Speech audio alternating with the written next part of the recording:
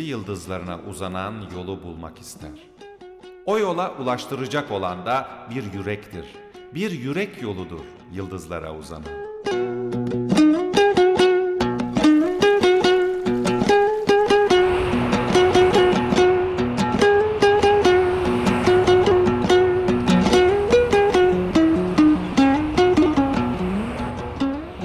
Orta Asya'nın coğrafi olarak en geniş ülkesi Kazakistan'dayız bu hafta. 2 milyon 700 bin kilometre karelik yüz ölçümüyle Batı Avrupa'nın toprak büyüklüğüne neredeyse eşdeğer olan Kazakistan, dünyanın en büyük 9. ülkesi. Diğer Türk Cumhuriyetleriyle kıyaslandığında Kazakistan, siyasi ve ekonomik istikrara sahip olmasıyla göze çarpıyor. Coğrafi konumu ve doğal kaynakları itibariyle de dünyada hızla önem kazanan ülkelerden biri. Ve bizler de ekip olarak Türkiye-Kazakistan ilişkilerinin bugün geldiği noktayı ve yürütülen ortak projeleri yakından görmek istiyoruz. Karın uzun süre dağlardan ve evlerin çatılarından kalkmadığı bu dost ülkede yolculuğa çıkıyoruz. Tarihte Orta Asya'nın uçsuz bucaksız bozkırlarında yaşamakta olan Türk boylarının birleşmesi sonucu ortaya çıkan ve hür, bağımsız, kimseye boyun eğmeden, başına buyruk yaşayan manasında Kazak adını alan bu halk, bugün bağımsız Kazakistan Cumhuriyeti'nin yaklaşık %65'lik nüfusunu oluşturuyor. Kazakistan'da geri kalan %35'lik nüfus içinde ise ağırlıklı olarak Ruslar, Özbek Türkleri, Ukraynalılar, Uygur Türkleri, Tatarlar ve Almanlar yaşıyor. Bu farklı dil, din ve ırka mensup insanların aynı toplum içinde bir arada yaşamasının güzel bir örneği olarak çıkıyor Kazakistan karşımıza.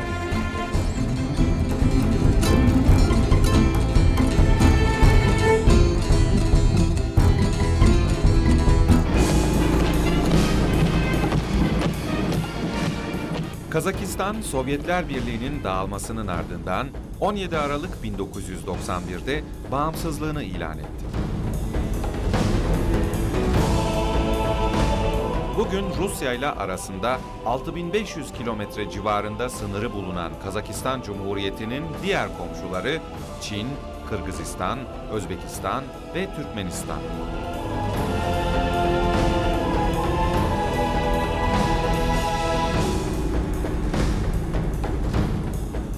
20 yıl gibi kısa bir siyasi geçmişe sahip bağımsız Kazakistan Cumhuriyeti'ni ilk tanıyan ülkelerden biri de Türkiye'ydi. Ve iki ülke arasında kurulan ilişki artarak devam ediyor. Bugün Türkiye, Kazakistan'ın en önemli partneri, en önemli destekçisi durumunda. Türkiye, Başbakan ve bakanlar düzeyinde 2002 yılından bu yana Kazakistan'a 15 ziyaret gerçekleştirirken Kazakistan'dan Türkiye'ye 12 ziyaret yapılmış.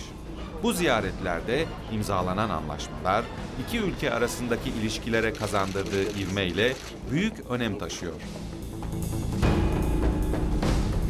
Bunlardan biri de Kazakistan Cumhurbaşkanı Nursultan Nazarbayev ve Cumhurbaşkanı Abdullah Gül tarafından 2009 yılında imzalanan Stratejik Ortaklık Anlaşması.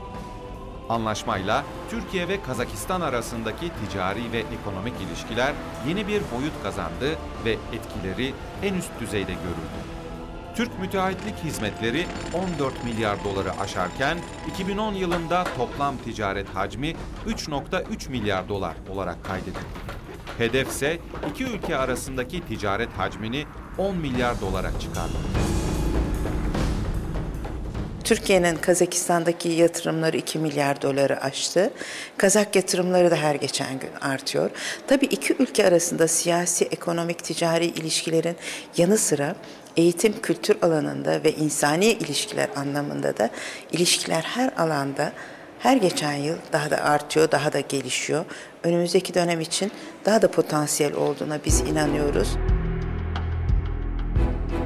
Kazakistan'ı 2007 yılında etkileri ülkede hissedilmeye başlanan küresel finans krizi sırasında yalnız bırakmayan kurumlardan biri de Türk İşbirliği ve Kalkınma İdaresi Başkanlığı TİKA olmuş. 2001 yılında benzer bir finansal kriz yaşayan Türkiye'nin tecrübelerini Kazakistan'a aktarmayı hedefleyen TİKA, bunun için bir takım projeler geliştirmiş.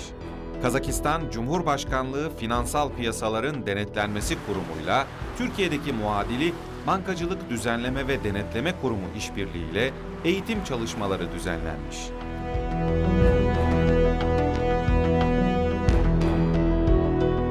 TİKA Kazakistan Koordinatörü Ömer Kocaman'a göre ülkedeki en önemli sorunların başında devletleşme sürecindeki aksaklıklar geliyor. Bunun için de sivil ve idari yapının güçlendirilmesi şart. Çünkü ülkedeki kalkınma hamleleri sürecinde yaşanan en büyük güçlük eski mevzuatın hala işler olması ve yetişmiş insan gücünün yetersizliği. Türkiye'nin burada devreye girdiğini söyleyen Kocaman, 2008 yılından bu yana hayata geçirilen eğitim programlarıyla ekonomi, sanayi ve ticaret, Maliye Bakanlığı'yla ilgili diğer bakanlıklardaki 600'ün üzerinde uzman ve görevlinin eğitim aldığını da sözlerine ekliyor. Ee, biz e, TİKA olarak eğitimden, ekonomiden, e, sivil ve idari yapıların güçlendirilmesinden, e, sosyal ve diğer e, kültürel alanları ilgilendiren birçok sahada çok farklı projeler e, yürütmekteyiz. Kazakistan'ın bağımsızlığı sonrası iki ülkenin özenle üzerinde durdukları konuların başında eğitim geliyordu.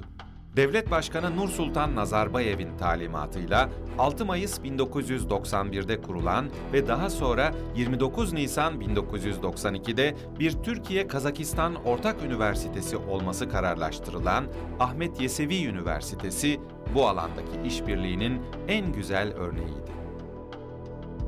Bugün başta Hoca Ahmet Yesevi Üniversitesi, Türk Kazak Devletlerinin ortak üniversitesi, Hoca Ahmet, Ahmet Yesevi Üniversitesi olmak üzere Almaty'deki iki Türk Vakıf Üniversitesi ile birlikte 20 bin öğrenciye Kazakistan'dan, Türkiye'den ve diğer ülkelerden e, eğitim imkanı sağlamaktadır medeniyetin 1992 yılında Türkistan kentinde eğitime başlayan Ahmet Yesevi, Kazak Türk Üniversitesi'nin açılışına o zamanın Dışişleri Bakanı Hikmet Çetin katılmıştı ve yıllar içinde bu üniversite çok başarılı bir üniversite haline geldi.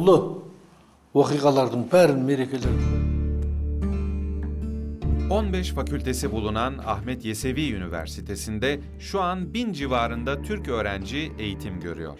İstatistiklere göre 1992 yılından bu yana yürütülen Kazak öğrencilerin eğitim programı çerçevesinde ise 2703 Kazakistanlı öğrenci Türkiye'de eğitim görmüş. Ayrıca üniversite ile TİKA bugün koordineli olarak çalışıyor. Bilgisayar laboratuvarının kurulması, Türk dili okutmanlarına staj verilmesi ve mobilya atölyesi kurulması gibi faaliyetler tamamlanmış durumda. Üniversite bünyesinde meslek ve teknik eğitim çalışmalarına destek sağlayan TİKA, aynı zamanda açtığı bu atölyeler aracılığıyla birçok kişiyi meslek sahibi yapma hedefini de güdüyor, bir meslek edindirme işlevi üstleniyor.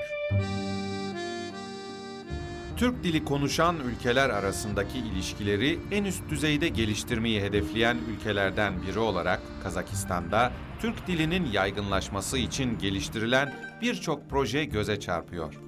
Kazakistan'da çoğu üniversitenin bünyesinde Türkoloji bölümleri açılmış ve ilgilenen öğrenci sayısı da azımsanmayacak miktarda. Eğitim alanında özellikle bizim başkanlığımızın prestij projesi olarak adlandırabileceğimiz Türkoloji alanında e, Kazakistan'ın önde gelen üniversiteleriyle işbirliği yapmaktayız. Bunları sırasıyla bahsetmek gerekirse Abay Üniversitesi, El Farabi Üniversitesi, Avrasya Gümülev Ulusal Üniversitesi, e, bunun dışında e, Kızlar Pedagoji Üniversitesi ve diğer e, bir takım üniversitelerle işbirliği başlatmış bulunmaktayız.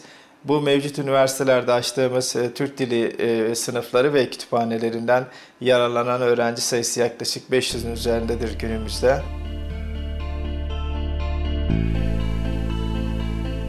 Türkçe öğrenen Kazak gençlerini yakından tanımak, çalışmalar hakkında bilgi almak için başkent Astana'da Lev Gumilev Avrasya Ulusal Üniversitesi'ndeyiz. Kazakistan Cumhurbaşkanı Nursultan Nazarbayev'in isteği üzerine 1996 yılında kurulan üniversiteye Avrasya halkları konusunda önemli araştırmalar yapan tarihçi Lev Gumilev'in adı verilmiş.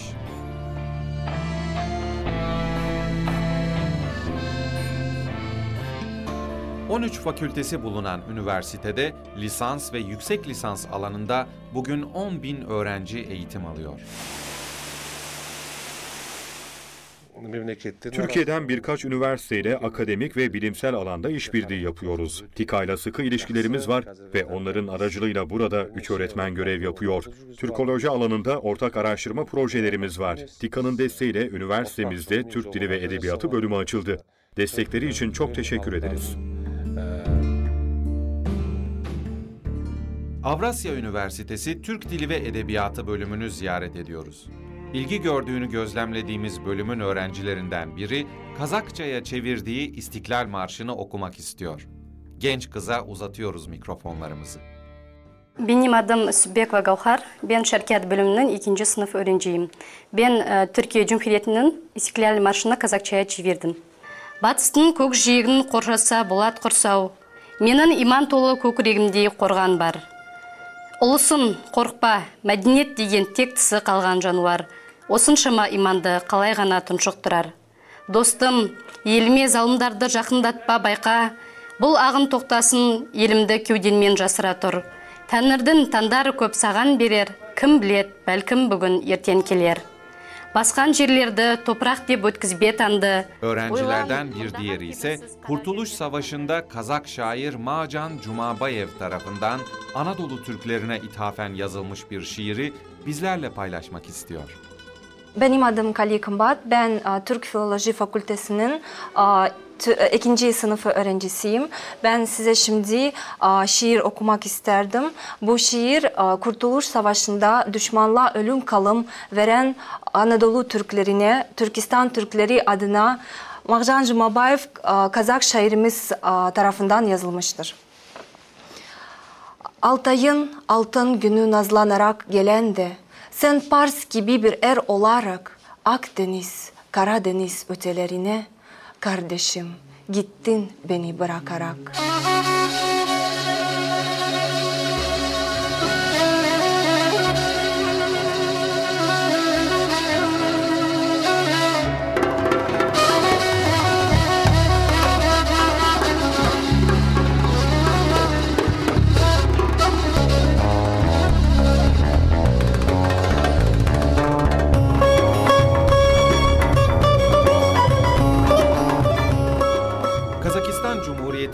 Tarihi başkenti Almatı'dayız şimdi de. Eski adıyla Alma Ata, 2 milyonluk nüfusuyla Kazakistan'ın en büyük şehri. Resmi başkent Astana olsa da ülkenin ekonomik ve kültürel merkezi Almatı.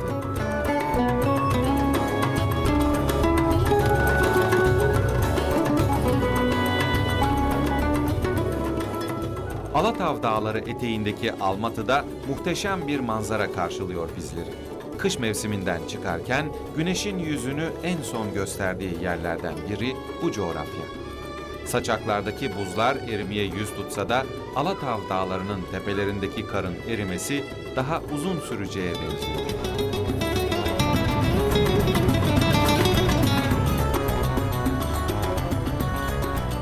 Almatı'da da sürdürülen Türkiye-Kazakistan ortak projelerini görüntülemek ve konuyla ilgili bilgi almak için yola çıkıyoruz.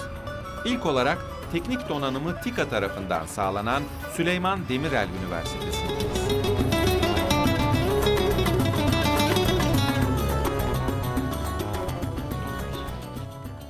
Без проблем это решение. Тогда Y касательно совершенно очевидно. Мы можем определить 1996 yılında kurulmuş ve Kazakistan'ın en prestijli üniversitelerinden biri olan Süleyman Demirel Üniversitesi, bugün Türk-Kazak liselerinden mezun olan çok sayıda öğrenciye eğitim sağlıyor.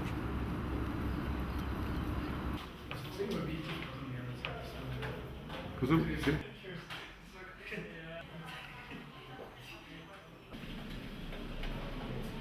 Yastar'a Türkiye'ye gittik. Ee, çok güzel geçti. Çok faydalı oldu. Bizim için çok güzeldi. Türkiye'yi gördük, ee, insanları gördük, kültürü öğrendik. e, iş yaptık orada. E, yani çok teşekkür ediyoruz. Gerçekten güzel geçti.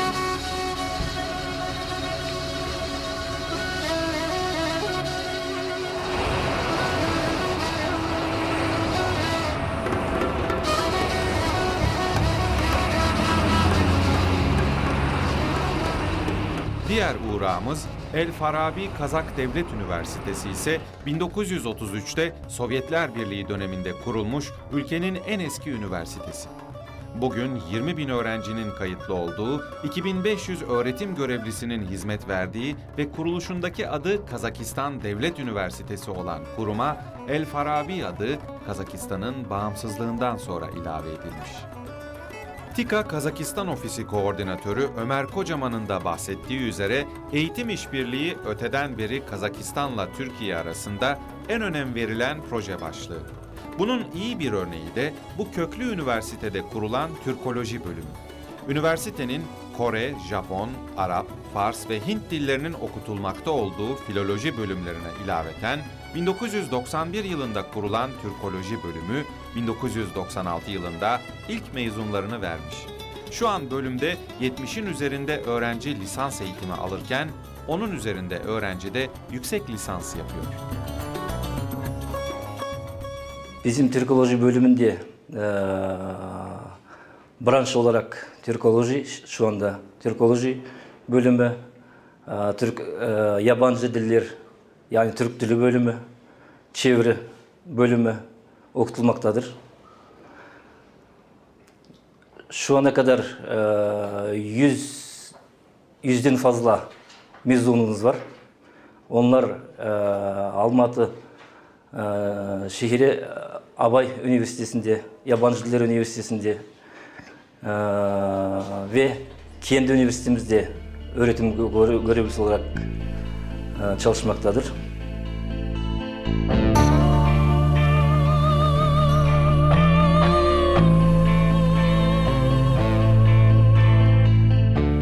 Kazakistan'da Türk Dili ve Edebiyatı eğitiminin desteklenmesi konusunda Türkiye gereken katkıyı yapıyor.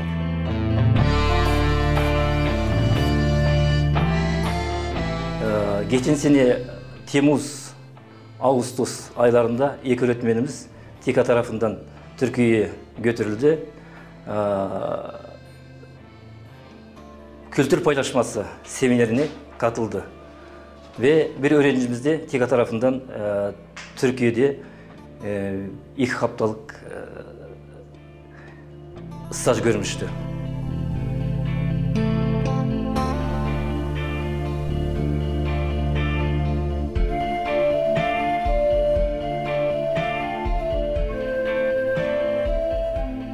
Türkiye merhaba. Benim adım Resul Banizarov. Ben Kazakpın. Burada bu şehirde doğdum. Almatı'da 1992 yılda. Ben Alfarabi Fakültesi Üniversitesi'nin şirket fakültenin fakültesinin Türkiye bölümünün birinci öğrenciyim. Öğrenci ismin. Ben Türkiye dilini çok seviyorum. Merhaba Türk arkadaşlar, benim adım Bedelbekova Balcan. Ben Alfarabi Üniversitesi'nde okuyorum. Benim için Türk dili çok enteresan ve ben Türk dilini çok seviyorum. Türkiye, Kazakistan'da özellikle Ahıska Türkleriyle yakından ilgileniyor ve çocuklarının eğitimlerine de büyük özen gösteriyor. Bunun için de Almatı'nın Talgar ilçesinde dar gelirli ailelerin çocukları için yeni bir okul yapılması projesini hayata geçirmiş.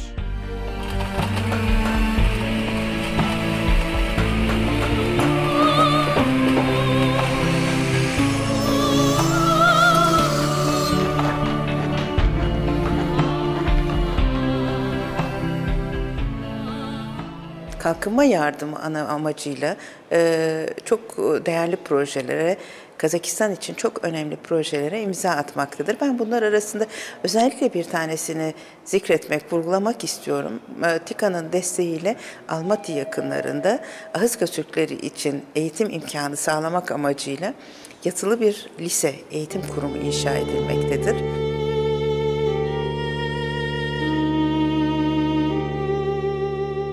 İyi karşılandı. Okul inşaatını yapan iş adamı Rahim Nasırov, 320 olacak. öğrencinin eğitim görmesi planlanan ve kısa sürede teslim edilmesi öngörülen okulun bir de yatakhanesi olacağını ifade ediyor.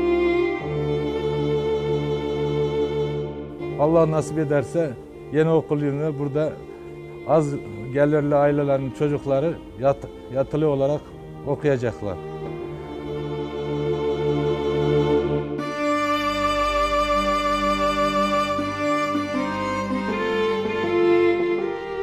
Ahıska Türkleri Almatı Şehir Kültür Merkezi Başkanı Hüseyin İsmihanoğlu da Türk Kazak Lisesi'nin yapımında olduğu gibi TİKA ile birçok ortak çalışmaları olduğundan söz ediyor ve memnuniyetlerini dile getiriyor. 2005 yılı Sayın Başbakanımız gel, gel e, ziyaret Kazakistan'ı ziyaret elediği döneminde biz e, bir ricada bulunduk. Dedik ki e, olursa bu fakir çocuklar için bir Kazak Türk Lisesi e, Türkiye Devleti'nin yardımından olursa çok iyi olurdu. İşte sağ olsun Sayın Başbakan bizi kırmadı. Biz kendi arazimizi bu işe bağışladık. Türk Devleti de finansmanını sağladı. Bugün çok güzel bir iş ortaya çıktı. Türk Kazak Lisesi'nin idari yapısının nasıl olacağı ve hangi öğrencilerin eğitim alacağı konusu şimdiden netlik kazanmış durumda. Bu lisede yüzde elli Türk çocuğu, yüzde elli de diğer milletler okuyacak. Ee, biz böyle bir karar aldık. Müdür e, Türkiye tarafından olacak, müdür yardımcıları Kazak tarafından olacak. Artı e, öğretmenler, önemli olan öğretmenler yani önemli ders e, veren öğretmenler Türkiye tarafından gelecek. Çünkü neden? Biz istiyoruz ki böyle bir, oradan çıkan çocuklar bir kaliteli eğitim alsın.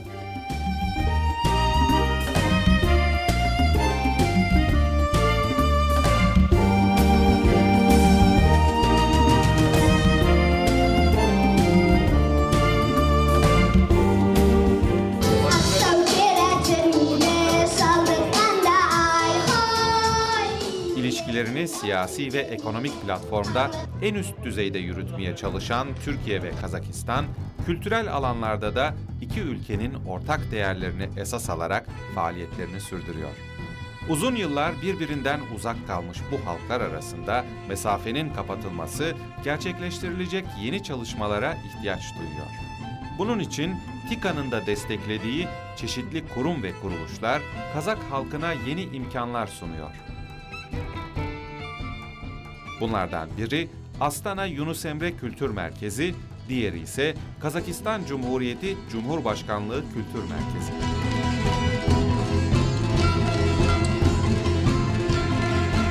2010 yılının Mart ayında faaliyetlerine başlayan Astana Yunus Emre Türk Kültür Merkezi'nin resmi açılışı aynı yılın Mayıs ayında Cumhurbaşkanı Abdullah Gül'ün katılımıyla yapılmış.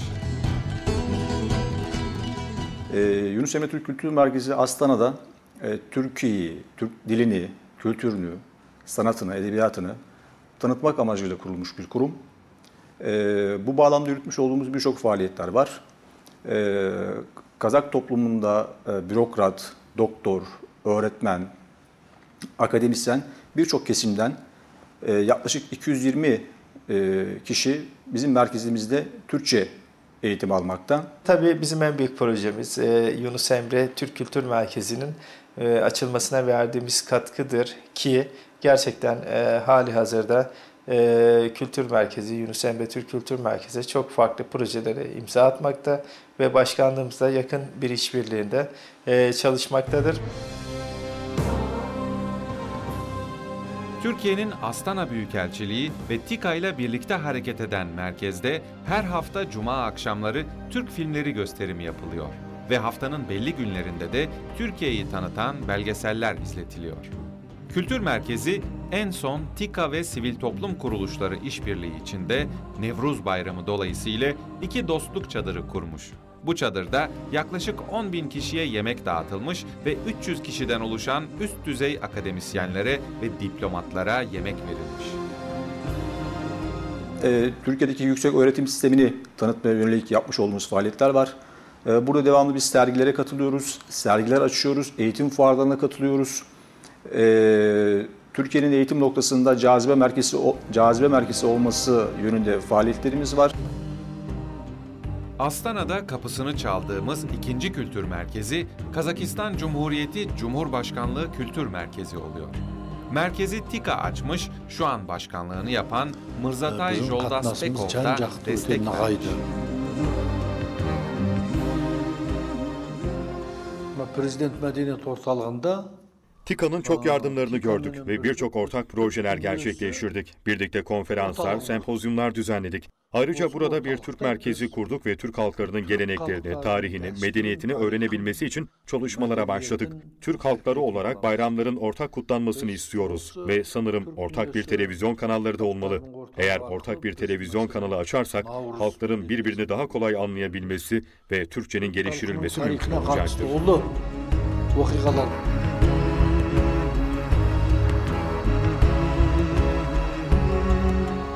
Ortak bir televizyon kanalı olmasa da Kazak ve Türk halkını birbirine yaklaştıran başka yayın kuruluşları var Kazakistan'da. 8 yıldır yayın hayatını sürdüren Türkel gazetesi ve gazetenin bünyesinde yer alan Altın Köprü dergisi de bunlardan biri. Ee, geçen sene e, TİKA olarak Türkel gazetesinin redaksiyonuna ekipman desteği aldık. Çünkü bu bize çok önemli bir şey. Bu Orta Asya Türk Cumhuriyetlerinde faaliyetlerimizi daha da genişletmek için, daha da gelişmemiz için e, bu ekipman desteği çok mühimdi bizler için. Bizim çalıştığımız Kazakistan Devlet Radyosu'nda yayınlanan Türkçe yayınlara da TİKA'nın mali desteği vardır. E, bu mali desteğini de biz e, TİKA'dan alırız ve faaliyetimiz daha da genişleniyor.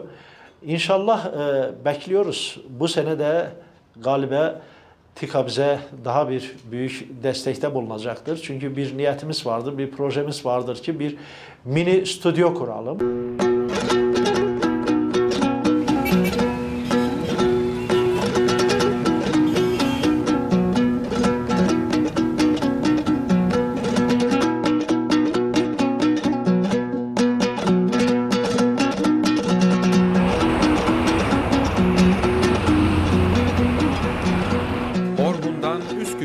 Kardeşeli olarak Orta Asya'nın göz dolduran ülkesi Kazakistan'dan seslendik sizlere.